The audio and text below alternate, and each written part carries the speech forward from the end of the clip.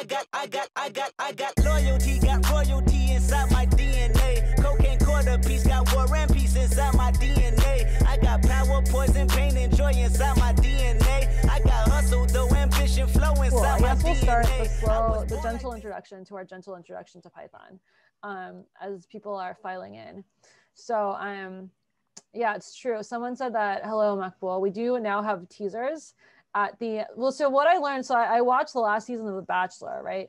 And what I learned is like one half of all of the footage of The Bachelor is really, or The Bachelorette, I think is the one I watch Is just like teasers to like later in the episode or the next episode. And so they actually don't have very much material at, at all, but it just keeps you at the edge of your seat. So like um, I've decided we should make PL talk more like this. Um, so guys, at the end of the episode, there's going to be an announcement about somebody from Germany and something having to do with PL talk. I was going to say, I'm not sure that's what we really want to do, or someone is going to make the PL Talk abridged version, which is just gets rid of all the filler, and then there's like five minutes of content. That would not Yeah. But but halfway through PL Talk, we'll give you a clue about the announcement that'll happen at the end of PL Talk. yeah yeah we're just gonna talk the whole pl talk will just be about this announcement. Um anyway welcome to pl talk. Um for anyone who hasn't been here before this is a weekly live stream now um it started with hongyi and i doing one live stream and we didn't think anyone was going to show up but then there was enough content that we keep going every week. And then we keep saying that hongyi is going to like live code but um, Hongyi and I did some scheduling for the quarter, and Hongyi, I would like to say, is very brilliant at getting himself out of live coding because we, um, but it's like one of those things that maybe once once Hongyi um, actually uh, once once Hongyi actually live codes, like this might just be over. You know, it's one of those things. It's like uh, it's like Schrodinger's live code. You can't ever uh, can't Right. ever see Hongyi live coding. Or maybe, maybe Uh, it's like jumping the shark. Yeah, so like it might be good that Hongyi has gotten himself out of live coding for like another quarter at least. Um, so yeah, so this is a weekly live stream. Our mission is to bring programming languages to the world. Um, our observation about ourselves from last year was that um, we were bringing like very, uh, very obscure programming languages to the world, but like no one knew what to do with it. And so our our New Year's resolution is to um, uh, like be more accessible in terms of bringing programming languages to the world. So we thought, what better topic than to take Python, a language that every single person in the entire world uses, whether they know it or not, um, and just like break down everything from like what is a programming language, and again, like you know, in the spirit of our our uh, our Discord channel, no question is a dumb question. So like ask anything. We might not answer it in words, but we'll like get to it in the chat or something. Someone will get to it in the chat. Um, and so this episode is really about like understanding what is a programming language and then also like how to think about a programming language from a programming language design point of view. And then like, you know, there are people who do research on uh, on Python, like Joe did, and I think still does. Yes, if, ish. And also, this might have something to do with the announcement that's coming at the end of the stream. um, but yeah, so um, so uh, for intro- a quick introduction, I'm Jean. I'm one of the co-hosts of this live stream on Twitch. I I, uh, I was uh, in academic. I was a professor at Carnegie Mellon, and I'm now the founder and CEO of a company called Akita Software. Um, not to be confused with Akita, not software. And there's um, a there's a non n- no one should look it up. No. Okay. yeah, it's just some other Akita. Um, so yeah, and uh, Hongyi will introduce himself, and then um, we will introduce our special guest Joe, who hacks like a Sure. champion every day.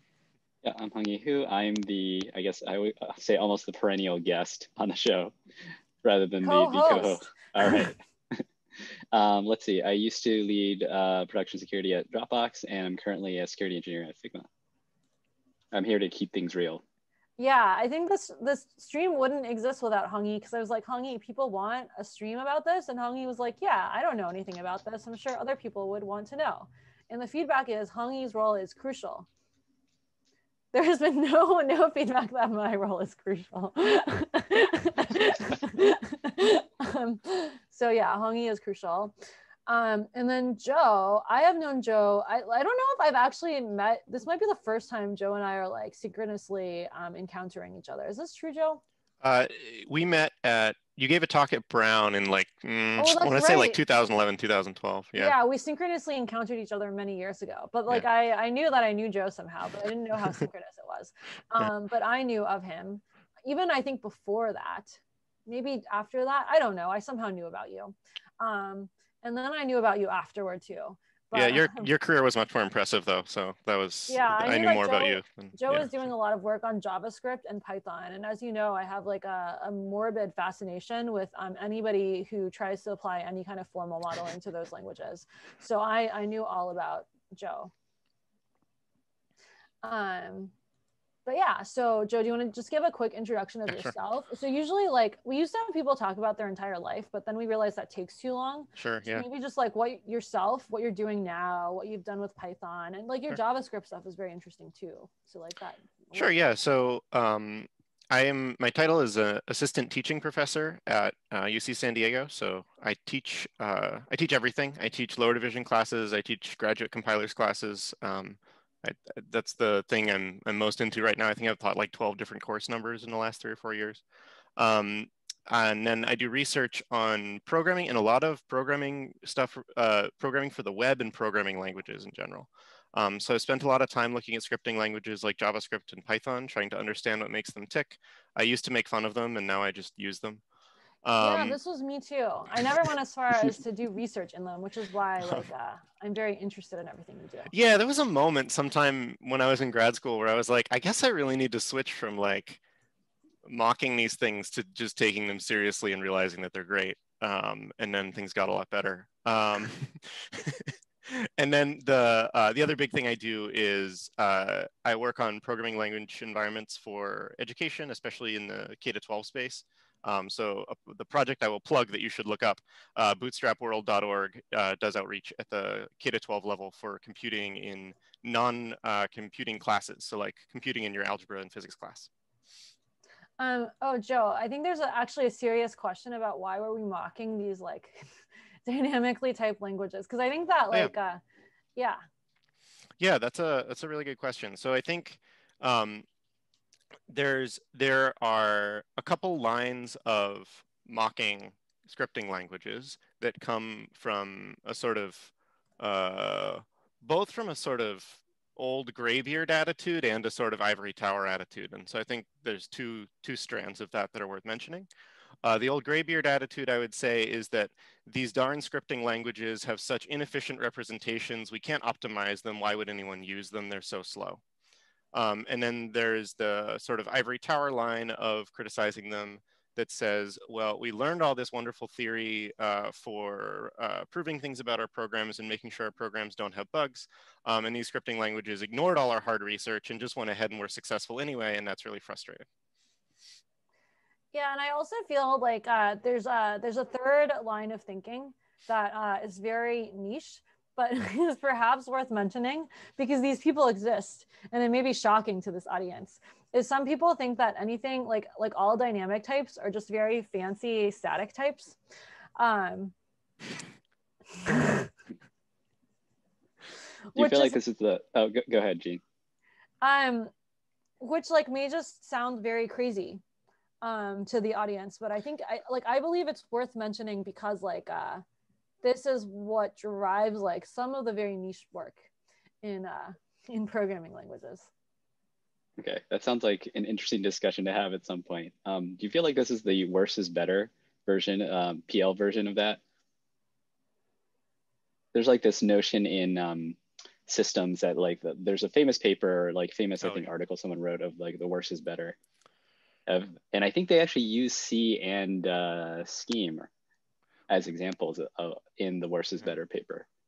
Well, and then there's the Bjarne Stroustrup quote of there's the language everyone hates and the language no one uses, which is Yeah. a similar argument. Yeah. Um, yeah. yeah well i think that it's like very interestingly um the field of programming languages actually isn't about programming a lot of the time and probably like i will get trolled by two people for saying that um, which is why I uh, hesitated.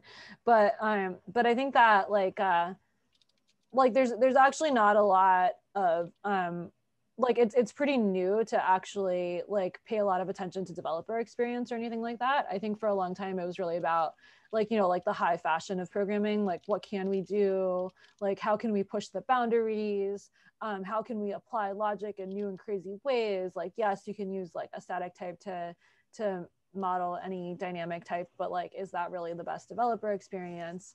Um, but but yeah i think like all these things make python kind of a very interesting beast because it like evolved outside of academia. It um as hongyi pointed out earlier today to us has been around for longer than java i'm trying to raise my eyebrows didn't work um, I raised my eyebrows back. I caught it. I was trying to get a wave going, and, and Hongyi just didn't finish the wave. So. Yeah. oh, I think we're in a different order on in my Zoom screen. Yeah. So it's like going in the different in an opposite direction. It's been around for so long. um, but you know, it feels it has this like very modern feel. Um, like I think I think like something else interesting about um, Python is that you know I think for in the early days a lot of uh, language design people sort of turned up their noses at it. Um, but a lot of people who use Python think it's actually quite well designed. Um, so, so I think that like it, it's it's just an interesting beast. And then I think in the early days of um, like language like language formalist people engaging with Python, people are just like it's unmodelable it's terrible. Like you should just give up modeling it right now, which is why I thought Joe's paper was um, very interesting. And so like this all makes like, I think a very good uh, foundation for starting with like what even is uh, a programming language. Cause, cause I think that like, I, I, I don't know that, that people, like people ask me this all the time. So, so I feel like it's, it's a, it's a, it's a, it's a worthwhile question to start with. And so wait, Hongyi, not to put you on the spot, what is a programming language to you? what is a programming language to me? I don't know. Um, I mean, uh, is there some formal de- academic definition of a programming language, or yeah, is this something useless. that like every? Yeah, I was just thinking like, is this something that like everyone sort of assumes like there's some common understanding, but then when you ask people, it's like something slightly different. Well, what is it to you, Hongyi? Like, what is yeah? Uh, oh, some I think, model for expressing instructions that you want some computer to execute.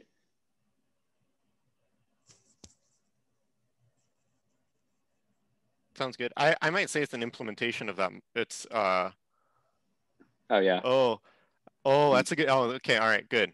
Is the programming language the implementation of that model, or is it the model? Yeah, it's probably the model yeah and i think that's a like i i think joe is an especially interesting person to bring on to talk about this because you had to model python. So like what did you guys pick when you modeled it? Mm-hmm. yeah so i mean we picked yeah well there were a lot of things to pick um, but so there's some standard academic math tools for modeling languages but uh, the the word we use for talking about those is semantics and that that's not necessarily the same thing as a programming language because a programming language has to come with like libraries and implementations and other stuff to make sure that um, it it you know does anything to the world.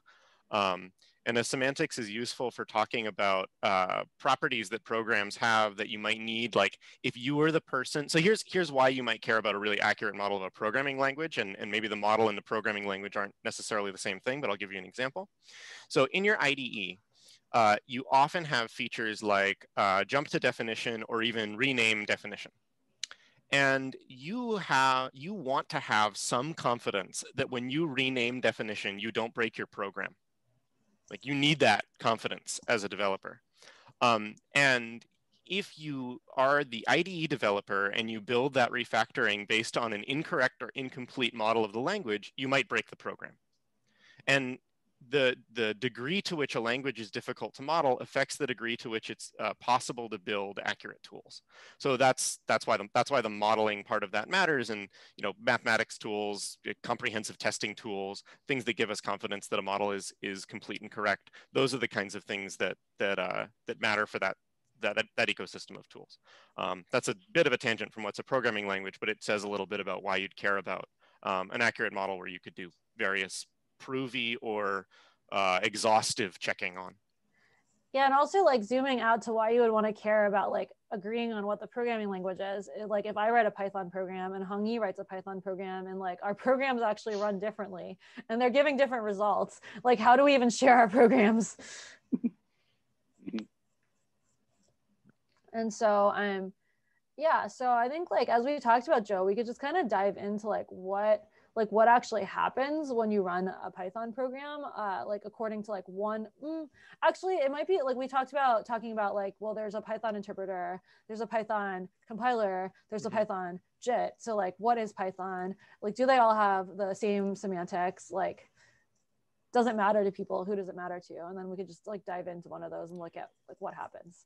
Yeah. So one of the things i was thinking about for the like what is a programming language question to get get people thinking a bit is is and Python's a good um, Python and JavaScript are both good candidates for this. Is there's a lot of ways to run Python programs that many people have interacted with. So you can run Python by running Python at the command line. You can run Python by opening up a Jupyter notebook and typing into a text box and clicking a button that says run. Uh, you can run Python by going to repl.it and picking Python from a dropdown and typing in Python programs and clicking a run button. And there's a couple different versions of Python on there that are interesting in different ways.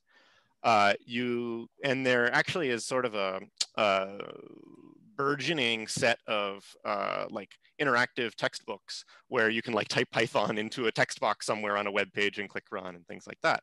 And then uh, if you look up a tool called PyPy, P-Y-P-Y, uh, that's another command line tool that also runs Python programs. This, so oh, this has to do with our surprise announcement. Ah, wow! I'm getting hints about the surprise announcement.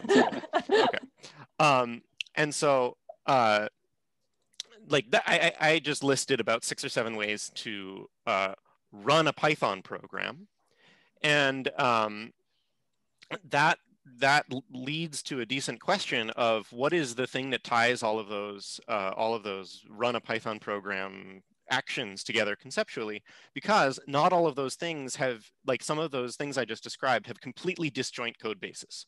Like there's nothing the same in the implementation of those two things. Um, so it's interest that's that's a an interesting setup to to um, to think about a little bit. Um, I'm I'm kind of curious from the audience, like how many people from the audience have run a Python program in more than one of these contexts? And also, how many people have gotten different behaviors across different contexts and been sad? I'm like very curious about the answer to this question.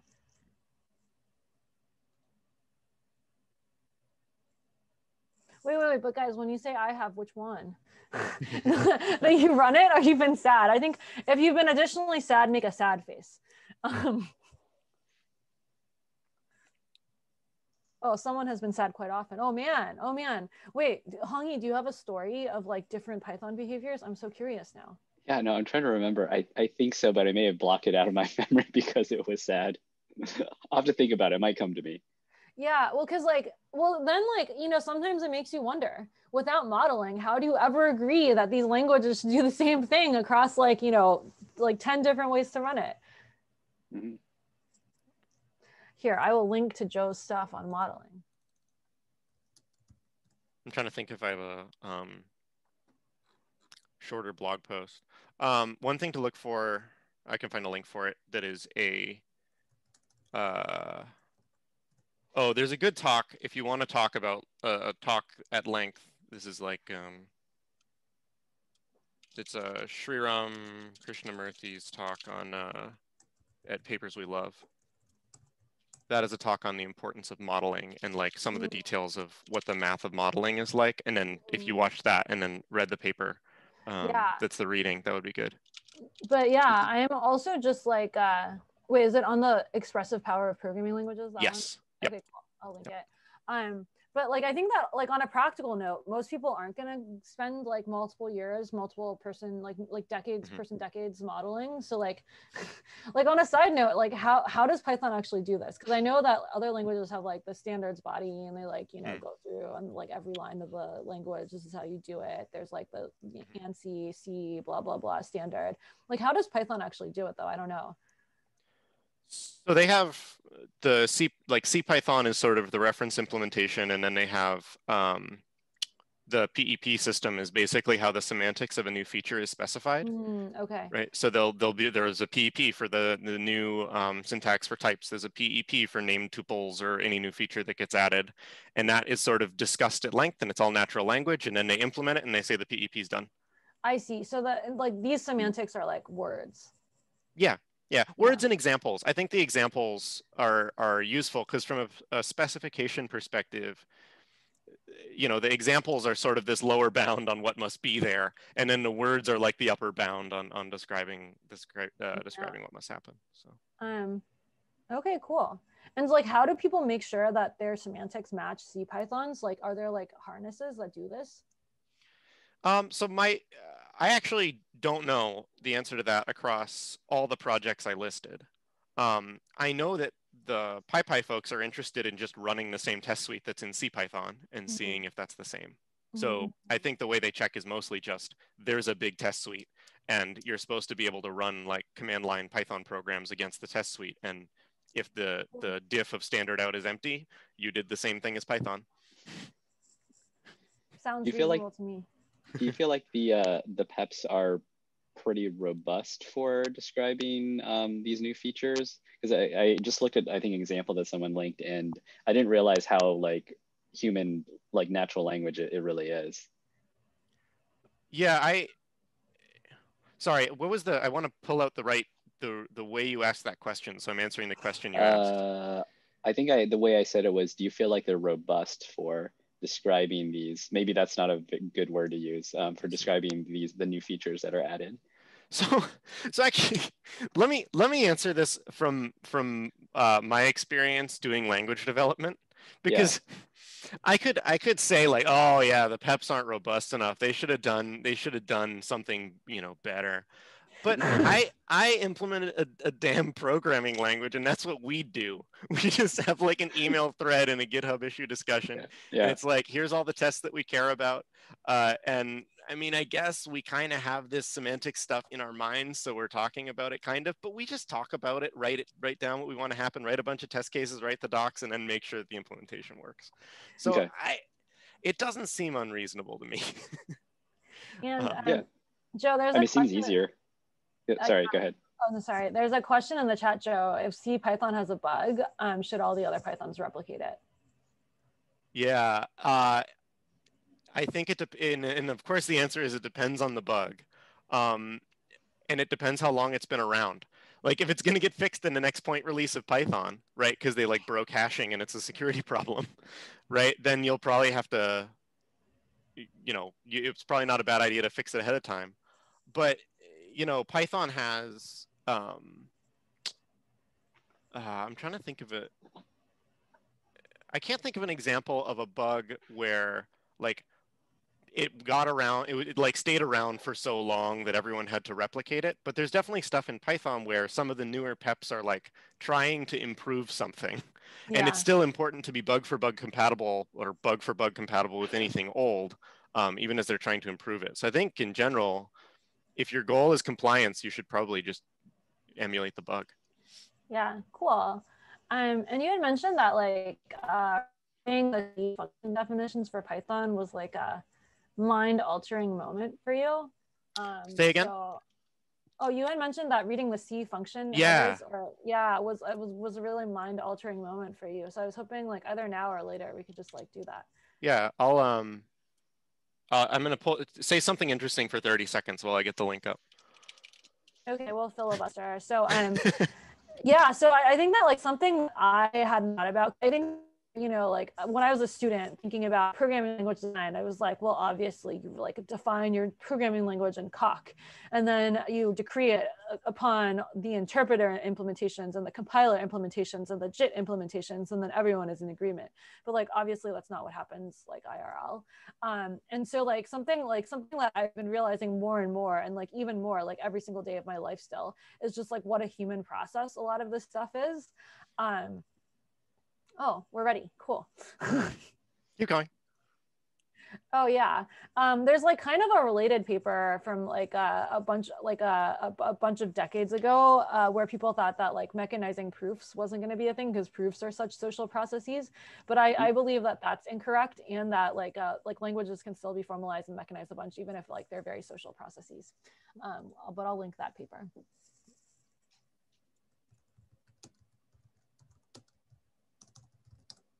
Do you want me to keep talking, Joe? No, it's good. I, got, I have up what I want. Uh, okay, cool. If you want me to talk, I now can. Okay, great, great. No, that's a great time. Um, so one of the things uh, that I don't know when I first like looked at the CPython source code, but at some point I looked at, started looking at the CPython source code because I wanted to understand um, what CPython was doing down to you know bits and bytes. Oh, I can zoom in more. Sorry. And uh, whoops, focus the window you want. Okay. Um, and so this is a the this is a file in oh I can probably get the file name up at the top here. Yeah, so this is in the CPython GitHub directory here. I can dump a link in the chat. What I'm looking at. Um, this is a, a in CPython some of its includes, and this is a header file called tupleobject.h, and uh, it has uh, a struct definition in C in it. And there's some information called PyObject var head that's sitting in the struct. And then there is a variable length C array of PyObjects. And you know, there's there's definitions of the, the type PyObject var head and PyObject somewhere. But really in Python, for every one of those built-in values in Python dictionaries, lists, tuples, uh, strings, numbers, uh, sets, all those things, they're all represented at the bottom as literally a C struct somewhere in Python, what happens when the Python program isn't running is it allocates a C struct for the tuple. And it allocates a C struct for that dictionary. And then there's like a C implementation of like hashing and lookup for what happens when you look up a key in a dictionary. And there's like a C array lookup that happens when you look up a tuple field. Like this was sort of, you know, like demagicified Python a lot for me. Because instead of like oh it goes into the compiler which like makes a magical binary with bytecode and does a whole bunch of stuff that i can't see that's opaque it's like oh i could have written a c program to do that. So a lot of the work that was happening inside cpython was just sort of orchestrating loops and function calls around my c structs and this was this was just a really helpful insight for me for understanding what CPython does. And if you want to think about why it might be hard to like bug for bug emulate CPython, it's because at the bottom level, the CPython values are all C structs. And so if you try and implement Python again, if you do anything that might be fiddly a little bit different than exactly the C struct semantics, you might get different behavior um, in some interesting case. So this helped me explain, it helped me understand a lot what it means for it to be like implementation dependent in CPython, and also just understand like what a representation of a value in a programming language looks like. Um, so I, I, I, wanted to show that because I, I, find that really useful, and it's nice that all this stuff is just on GitHub, so you can browse around and find it. Yeah, that's awesome. Thanks for sharing, Joe. Yeah, Um, do you want to talk a little bit about like the interpretation of Python versus compiling it versus JITting it? Sure, I can talk about that a little bit. Maybe I won't. Well, actually, let me get the other. Um, here, I'll, I'm going to stop my screen share as I do uh, a search again in here. But um, I'll share this again in a sec. Oh, it was called uh, ceval, I think. Yeah, there we go. Um, so another little piece of um, Python that I think is kind of interesting, and maybe I want to actually I want to talk before I put code up. That that's a, a random piece of code to jump into without talking at all. Um, so actually, I'm gonna. Do you mind if I draw? Is that okay? Go for oh, it. Please go ahead. Yeah. Okay. So one of the things I talk about when I teach uh, when I teach compilers a little bit is like uh, we have this command line tool called called my my pencil is is not drawing. Wow, that's cool. All right, we have this command line. All right, I'll just keep talking. We have this command line tool called Python, and it uh it what it like what is the type of Python in the sense of what does Python the command line tool take as input and what does it produce as output? That's an interesting question for the chat. Like if you were to try and think to your describe to someone um, what Python takes as input and produces as output, what would you say? When would you say Python takes as input and produces as output? String to unit, string to string. What are other answers? Other answers. Keep answers coming. String in and out. It doesn't even take a string. Is that a meaningful question? String to IO. String to IO. Being a grumpy Unix person, I would say it actually returns an int. it produces an effect right? Yeah, there's actually all these outputs that come out of it. That's kind of interesting, right? So the um, you can see. Can you see my screen now? Uh, it's I think still loading. Yeah, yeah, yeah, yeah. Right. So all this stuff comes out of it. Someone someone nicely pointed out that uh, it produces a return code. Being a grumpy Unix Unix person, that's pretty funny. Um, also, uh, stuff that comes out of it is like a bunch of printed standard out or like answers. I'd say, like from the program. Like the program generates some stuff and prints stuff. Ah, string yeah. times RAM storage to RAM storage. That's awesome. Yeah. Great. Uh, and then this other thing comes out of it too, which is these PYC files that get generated. Have you ever like run Python and then you look at the directory afterwards and like these PYC files came out of it? Yep. Right? And you can even like distribute the PYC files instead of the uh, mm-hmm. bytecode turns. you can even distribute the PYC files instead of the original source files. Um, yeah, so it, it's kind of interesting what Python does is, uh, so Python takes a, takes a, you could say it takes a string. So let me actually talk about its input too. It takes Python programs right? Which might be, you might say is a string. A lot of people had sort of string as their input, right? Um, but also you might think of that as like a fragment of the file system, right? Like you took a path and then you use that. Um, uh, and then it produces, uh, well, yeah, the return code when the process is done, it produces some standard out and answers, and it also like puts out these bytecode turds, uh, as someone, as Superfunk said, right? And so Python actually is doing a few things uh, when it starts up. And it's useful to talk about sort of just uh, talk about that process a little bit. So the string comes in. Does the term AST mean anything to the crowd? AST?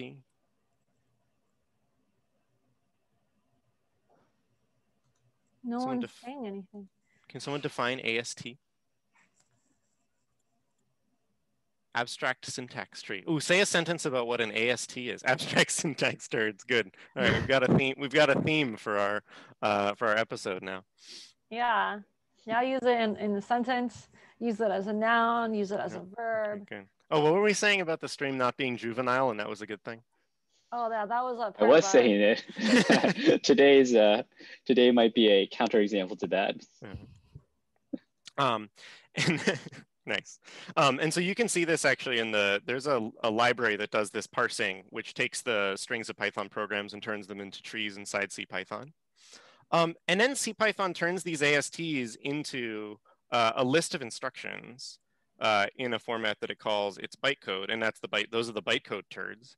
And these little instructions are things like uh, individual instructions, uh, like load this field from this object, or uh, push this arg onto the stack. Right, so these are sort of like still logical in terms of like what Python values and functions look like, but uh, they're much lower level than saying like a function call. And this thing is what goes into the .pyc file. And then the, the like guts of Python, that's this code that I wanted to share. And this is, I, this was my other, these two pictures of the values and then this loop in Python um, were like my aha moments for uh, understanding how CPython works. Um, is in uh, CPython, there is a big while loop. Somewhere up here is the start of a while, but basically the point is there's, uh, I'm in a while loop and I'm going to uh, read off the beginning of the next line of bytecode. And there's just a big while loop around a switch. This is basically the structure of CPython. It's a it's a little bit mm, it's like slightly more than that, but it's like it's like elbow grease and a little bit of like threading around a big while loop and a switch. And if you scroll down from this switch, uh, what it's doing is it's saying, well, okay, there's a uh, there's a, a bytecode instruction for a no op that basically does nothing. But then there's you get into these things that are trying to do uh, loads of variables, like get a local variable. There's a there, you wrote down a variable, so I'm going to access the value of that mm-hmm. local variable and put it somewhere. Um, you wrote down a constant number or a constant like a boolean. I'm going to uh, load that into memory for you. I'm going to store things for you. And really, like this loop is the Python interpreter uh, that's actually processing these byte-coded instructions. And so those two things are what I think of as sort of really what's going on in CPython is there's a big loop that is processing these bytecode instructions. And then there's all these C definitions for all the values that the bytecode instructions are working on right? And that's what the that's what the back end of C Python looks like. So if you want, you could talk about modeling Python in a few ways. You could this might be interesting to talk about. I want to see where Jean and Hongyi want to go, but you could talk about it in a few ways. Talk about looking at the source code and the, the tree that the source code implies and modeling at that level. But in terms of C Python, you might also be interested in looking at this definition of the um, of the bytecode um, and the actual values that are represented by these C structs and what that looks like. Breaking news, compiler development actually easy. Take my course at UCSD. Much of it is online. Uh, okay. a link to it now. We should have like a floating banner, the Joe class. Yeah. Um, what are some interesting things that like um, developers might uh, could get out of looking at the bytecode for their programs? I know like I, I think I've done this a little bit before and it was interesting to understand because like you'll you know when you i think uh, read introductory python material sometimes you'll read things like oh like these sorts of list operations are fast but they don't explain why. And like it's, it's actually not something i think intuitive. And then i remember like reading about how you can actually look into the bytecode and see how the code is actually the program is actually turned into the bytecode and how it's structured that way. And that actually gives some interesting insights into how the program or how the uh, language operates yeah, I think that uh, there are two things about, there's two things I'd like to say about understanding the low level stuff. One is actually about a little less about the bytecode, but like very related to the bytecode around function calls and, and mm -hmm. some of the stuff that happens in Python around function calls and some of the operations. Uh, looking at the bytecode and the like C libraries, tells you when Python is sort of running a bytecode instruction for code that you wrote, or mm-hmm. it's jumping over into some compiled C code. What do I mean by that? Right. Well, I said when I was talking about like dictionaries, right, that yeah. uh, you know somewhere in Python there is a implementation of hash tables that they use for their dictionary that they wrote in C, and you can like there's blog posts about how they mo- measured this and stuff. And so mm-hmm. the reason dictionaries in Python are fast are because they implemented a really fast C hash table. Yeah. And so if you look at the bytecode, it's doing some instruction that says, oh, go jump off into this C library, right? Whereas if, if you implemented your own hash table in Python, right, using all the string operations, then you'd see individual bytecode instructions for like, let's take the first character out of the string and let's multiply it by a prime number and then add yeah. the next character in the string. And so I think that could be illuminating the difference between when you sort of jump into the low level that the CPython authors like work on the screaming performance for, and when you've implemented something that's actually like thousands and thousands of those bytecode instructions long. Um, so that's one of the answers. Um, mm-hmm. Another answer is uh, some short looking Python code generates potentially many bytecode instructions. Uh, because lots of things in Python are, this is actually a wonderful, wonderful, wonderful design feature of Python, is that much of Python is, uh, relies on this pervasiveness of iterators as an interface. So like generators in Python, all the built-in things like lists and dictionaries and sets, um, all, uh, uh, I'm gonna come back to Pierce's question so that I can have an example of I, so I know what that means.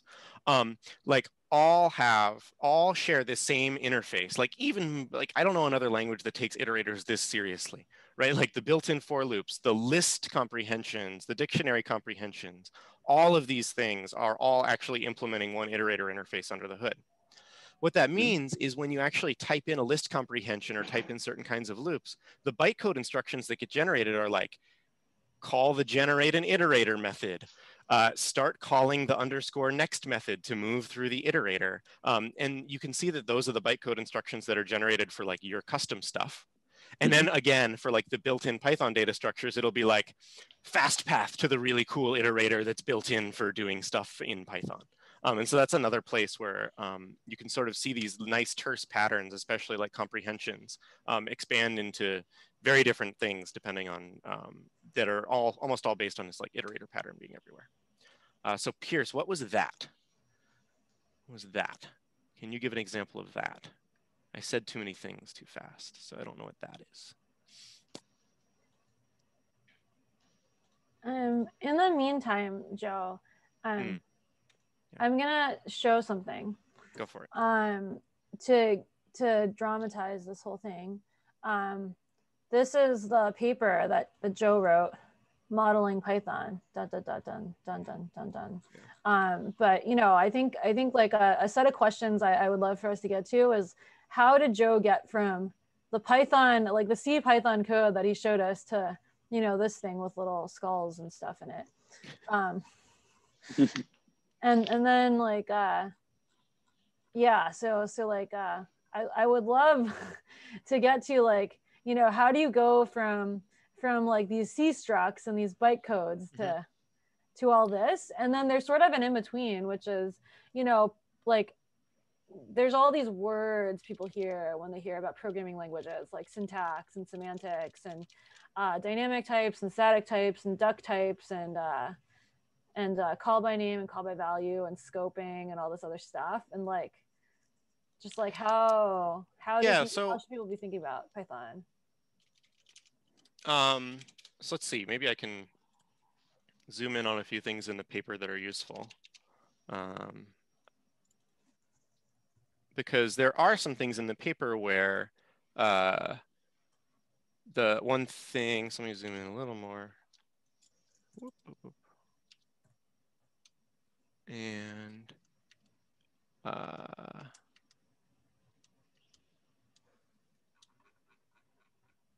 so one thing that's worth pointing out is like there's these things uh, in this uh, long sort of grammar description of the language, and I just want to highlight like this part of the this part of the line, and uh, these are referring to um, list data tuple data and uh, set data. Um, and these actually kind of correspond one-to-one -to, -one to the C structs, right? So the C structs are just these ordered lists of elements, but they sort of know whether they have enough metadata on them to know if they're a list or a tuple or a set, let's say. Um, and so these things really like correspond to those. Um, and then the other parts of this uh, correspond to bytecode's not a terrible analogy, but it's like in between the bytecode level and the uh, source code syntax level. Um, basically, what are the simplest uh, pieces of source code we could look at?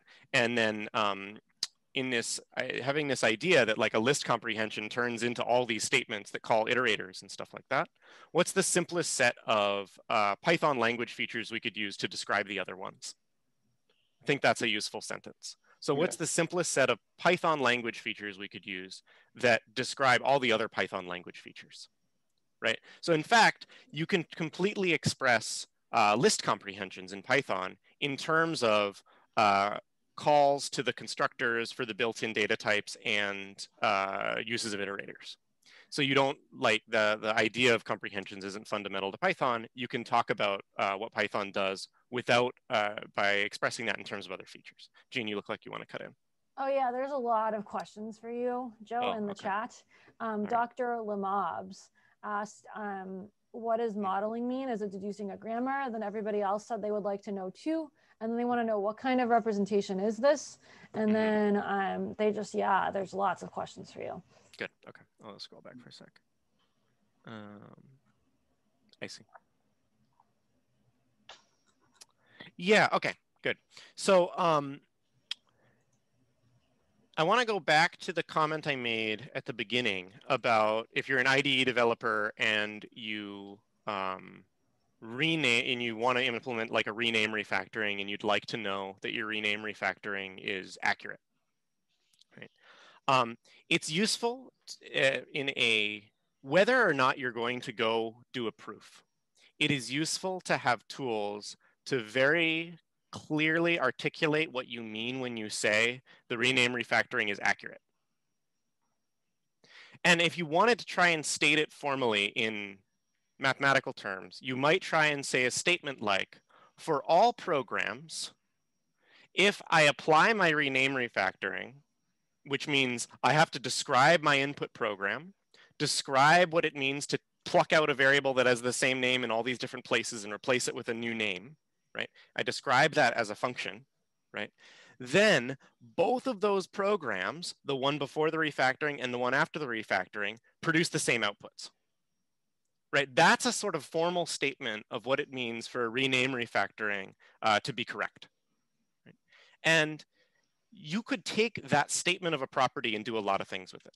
You could test your rename refactoring by applying your rename refactoring to lots of programs and checking that it does the same thing before and after.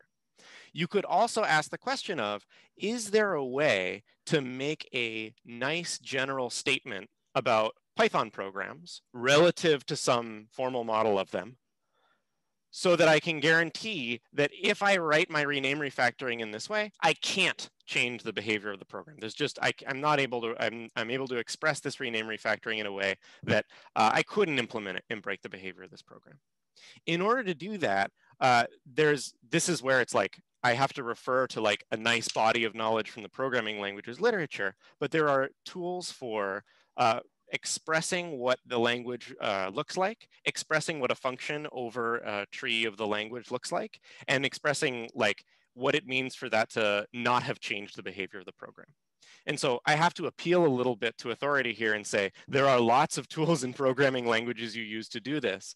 Um, but the activity of modeling is to let you uh, get, your, get your hands on, get a handle on uh, answering questions like that.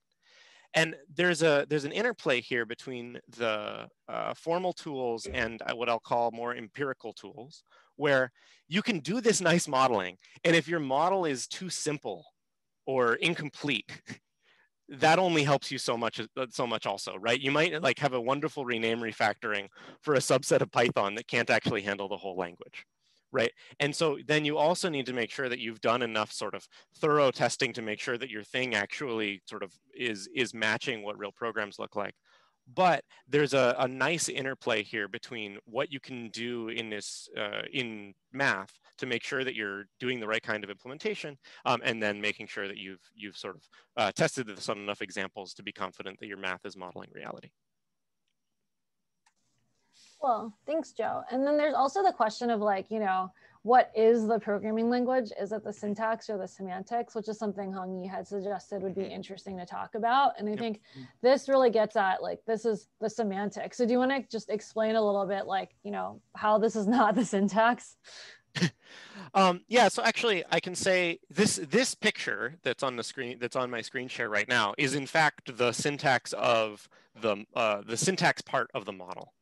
There's a whole other set of diagrams in this paper um, that have uh, the, the thing that's interesting about them is they have uh, big arrows in them. Um, actually, there's a, you could probably do a whole PL talk on uh, operational semantics. It would be really fun. Um, but uh, there's all of these uh, figures that have these big arrows in them. And what they're saying is, this is a long way of saying, uh, here's what it looks like when we're about to look up a global variable. It's almost like we tried to take everything that's in the Python bytecode interpreter when it's about to do that fast load opcode dispatch and tried to write it down in a symbolic form that we can fit everything that was happening in that process on paper. Um, and then we say, here's what's supposed to happen next. We're supposed to load that value. And that's a long mathematical description of that idea because I can't write down all the bits and bytes inside a running CPython process very easily, but I can use math to communicate this to people who are trained in this style of math. So one way to talk about the semantics is it is a independent of implementation way of trying to communicate what it means to look up a variable in Python or what it means to look up a field on an object in Python. And that is an interplay between the values that are present in memory at runtime, the syntax of the original program, and how those values get modified over time.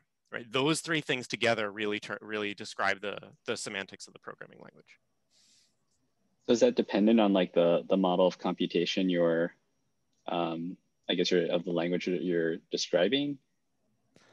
You would, you might choose different math for different languages um, because it might be convenient to use certain math for certain languages for sure. Yep. Okay. And that's that's something that's something that would be that could be a fun deep discussion about why you would choose certain representations for certain languages. Yep. There is a sort of standard model um, I'm borrowing that term from my advisor Shriram, that there is like a there is a, a, sense in which you know physicists talk about wanting a standard model for the universe. There's kind of a standard model for the mainstream programming languages um, that it, it, has to do with like the pictures you often see in programming classes with like a stack and a heap and references and what's possible to do there in like a memory safe language. There's kind of a standard model there um, that, okay. that that one could talk about. Yeah, I also feel like there are like slightly different standard models among different communities. That's like an interesting like inside baseball discussion yep. of like the factions and like the different standard models that different people use. Um, yeah. But um, but yeah, I think that was an awesome explanation, Joe, and I think it's a great segue into like well, if it's the semantics of a programming language that we care about, or like when people talk about the design of a programming language um, in, in terms of like um, like modeling it or anything like what like what should people be thinking about um, in terms of the semantics you know in terms of typing scoping and, and like all the all those kinds of things? Do you mean what which specific features of python are interesting for them to think about or do you mean um, like when they approach a new language in general? Um both. Whatever is easier for you to answer because we are running low on time. Oh we are. Yeah yeah, yeah. Um, So I think uh, one one very pragmatic uh, way to think about this is let me bring it back to something I said at the beginning about all the different implementations of Python, right? And uh, one very pragmatic way to ask this question is, where can you copy paste your Python code and reasonably expect it to do the same thing? And there are good reasons why different Python environments might have different behavior right? So like if you take your Jupyter Notebooks Python code and copy paste it and run it in CPython, like weird stuff's gonna happen because the Jupyter Notebooks Python code is probably relying on libraries that know something about a web page in JavaScript, right? There, there's like new values in there. And so that that's like a very good reason to have a semantic difference between one version of Python and another version of Python. That's sort of at a different level than, oops, the people who implemented PyPy did did um, array did list comprehensions different than CPython, right? That's like a, a sort of qualitatively different um, difference in behavior. And so um, I think that uh, the thing that happens is people will build another implementation of a programming language for a different context because they really care about some low level thing like having access to a web page in the browser programming environment because they want it to run in the browser. And it turns out that like actually what happened is now their values are a little different than CPython's values. So you work with the values in a little different way. So like the iteration order changed or something changed a little bit. And then you see that manifest in other ways that look kind of weird. Like, oh, now, now this version of Python does something a little different than this other version of Python. And you see this in the JavaScript ecosystem a lot where the browsers used to have very different behavior. Um, and it was usually motivated by something they were trying to do low level. So I guess that's the sort of real world case of differences in the language coming up. And some of them are very well motivated because you were trying to make something good happen and something changed as a result. And the only way to avoid that is like really thorough testing and making sure that you have a good description of uh, what you were trying to do. There's actually a, the, the reason I opened the new tab is there's a paper we wrote as a many years later follow up to the um, JavaScript semantics work that goes along with a question that just came up in chat. Um, someone asked, more or less, uh, you can't, and someone said basically, you can't do a good rename refactoring in Python because I can reach into locals and globals and do stuff. so it's, it's totally unsafe. And it turns out that in some of the some of these languages, you have to say, well, if you set aside these features, then everything works out okay. But these features are the ones that are weird across different settings.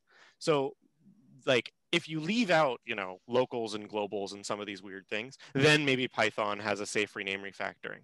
If you leave out certain features, then maybe Jupyter Notebooks and CPython behave exactly the same way.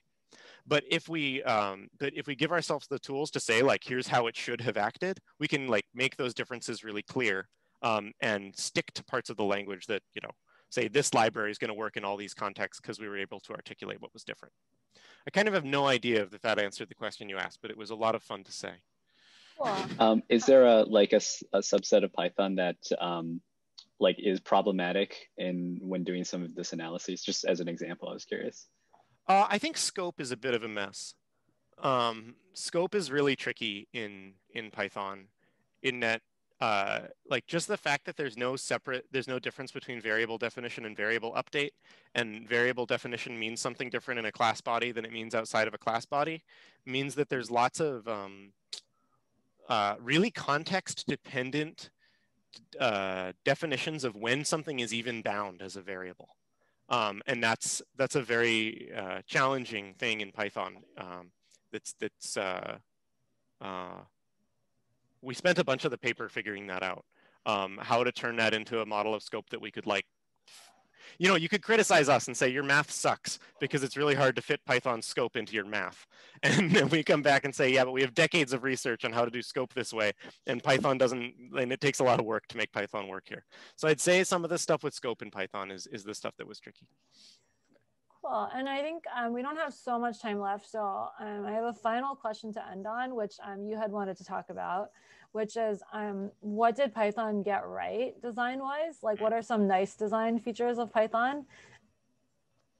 Iterators. I think the, the iterators design, if you go through Python and look at all the places where they could have restricted things and instead said, ah, we'll just stick an iter anything that implements the iterator interface interface here is awesome. And I think that was like a, a huge deal. I mean, after, eh, you know, Python did this, as, as far as my memory of this goes, Python did this pretty early. Um, I mean, Java's enhanced for loops didn't come along for a while, right? Like Python nailed this design pretty early on. And like a lot of these other, a lot of other systems have just been like, oh, this is amazing and really cool. I mean, I guess list comprehensions were in functional languages before that, but the idea of iterators being this pervasive interface that works with like every new Python feature is so cool. I mean, I think they, they just absolutely nailed it. A lot of the times where people are saying like the Python code just reads like English and stuff like that, it's like iterators are pulling a lot of the weight there. Yeah, awesome. No, that's a that's a great answer. And in terms of like other Python features, like Python's uh, object model or um, the, the the duck typing and all those things would you say like those are pretty standard or um, they like yeah yeah i don't think they uh, they differ in any um, sort of like they don't change like any to me significantly yeah. anything over other scripting languages. Yep. Like you can set up an inheritance hierarchy you can pass objects around and if the fields are there, they work. I mean, this is true in Ruby, this is true in Lua, this is true in JavaScript. Um, it's just different idioms for doing it. And I don't think those idioms are, are wildly different. Cool, awesome. So we're out of time here. Um, we do like to keep our streams to an hour, but there's usually a bunch of chatter in the Discord afterward. And so, um, Joe, if you have time, you're uh, welcome to go there. Or uh, one time when Will Byrd came, he actually uh, video streamed for a while, like hours afterward. And we like you don't have to do that, but um, you know, like there's um, there's a channel in the Discord that is um, what is it called? Uh, Stream of the Week which is where um, people will tend to discuss the stream afterward. Um, so if you don't answer the questions, like someone else might. Um, Okay. so don't feel too much pressure, but that's Yeah. that's where people go. And also for um, for the audience, uh, that's that's the place to go if you want to keep talking about this stuff after.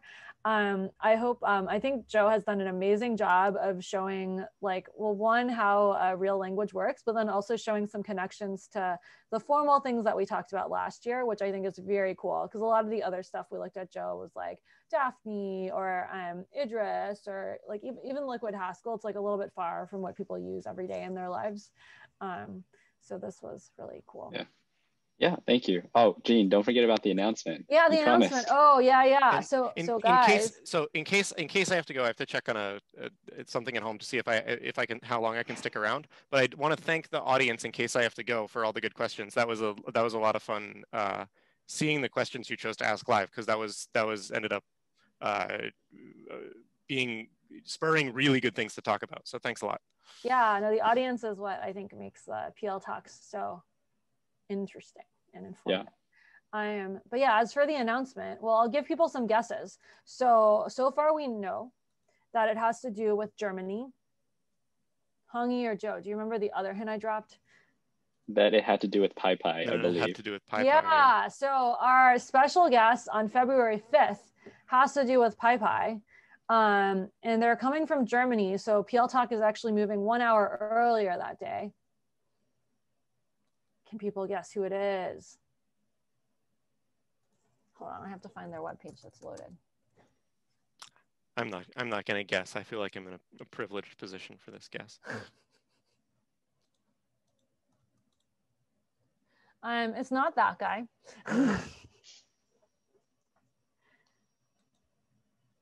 yeah, we could get Bjarne one day, maybe. Um, all right. Yes. JavaScript fanboy 2310 got it. It's Carl Friedrich Bolz-Tereick. He will be here February 5th. So I had um, casually invited him whenever PyPy came up to come on PL Talk.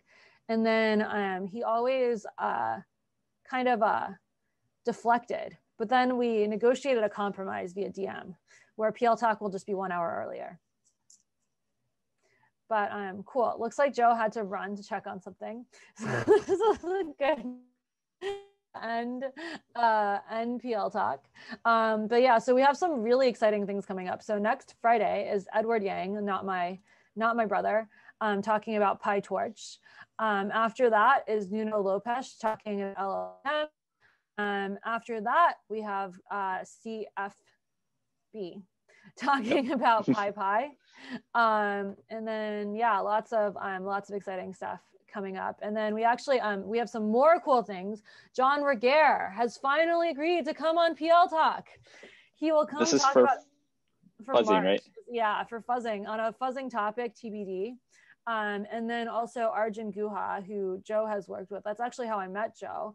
Will be coming to talk about continuations, and we're not just going to be talking about you know theoretical continuations, blah blah blah. We're going to do a deep dive, and Arjun's going to talk about how he implemented call CC in JavaScript. So it will touch on many topics. That, that go to that. So so we tried to solve that problem for Pyret. We hacked together something that worked, and then like three years later, Arjun was like, "Let's do a research project on this." And then Arjun and his student like knocked the problem out of the park. They actually like figured out how to solve it in general, and we just had like our little hack together thing for Pyret, and they actually totally solved it. So you should go to that. Yeah, that's incredible. So here, let me link the the full rest of the schedule, and then I feel like in Joe already suggested like five other PL talks. So I think um, we're like set for Q2, Q3. Joe, you'll just have to come back and do all those quarters. Um, it'll be like your second teaching job, but we can't pay you. But people will pay you in bitcoins or Twitch coins or whatever it is. pay you in. I need to get my my like Twitch tr- Twitch rewards or something up. So so maybe maybe maybe somewhere something like that. Yeah, yeah. Yeah. But um cool. Thank you everyone. This was um super fun. And uh yeah, there's a lot of stuff coming up. So spread the word. Wait, wait, wait, hold on. How, how many retweets? Um there have been uh, oh my gosh, oh my gosh, guys. 12 retweets. There have been 12 retweets since the beginning of PL Talk. um, so yeah, thanks everyone. Um, see you on the Discord And uh, yeah, talk to you soon. Yeah, thanks everyone. Thanks so much, Joe. Yeah, thank Let me you, open Joe. up this Discord. I can stick around for um, a little bit.